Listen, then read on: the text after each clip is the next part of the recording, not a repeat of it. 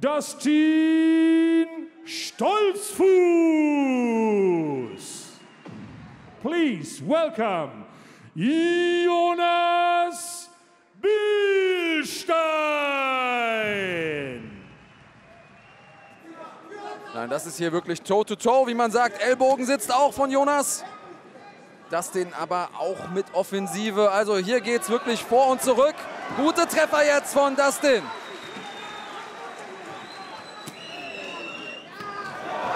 Hier gute Rechte wieder. Jonas wackelt. Billstein wackelt, rettet sich in den Takedown. Gelingt er ihm.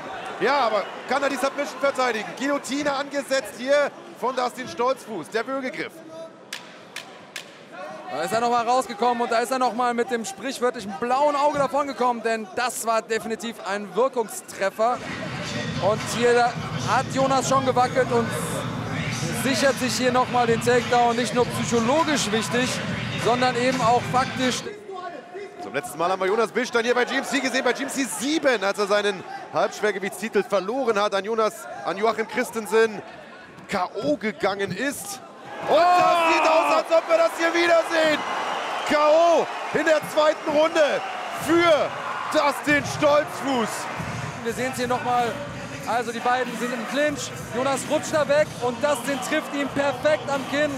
Das eine Lücke, die nicht da gewesen wäre, wäre da der Boden nicht so rutschig gewesen. Und am Ende des Tages auch sehr schade, denn ich hätte natürlich auch gesehen, wie wäre dieser Kampf ausgegangen, wäre da der Rutscher nicht gewesen.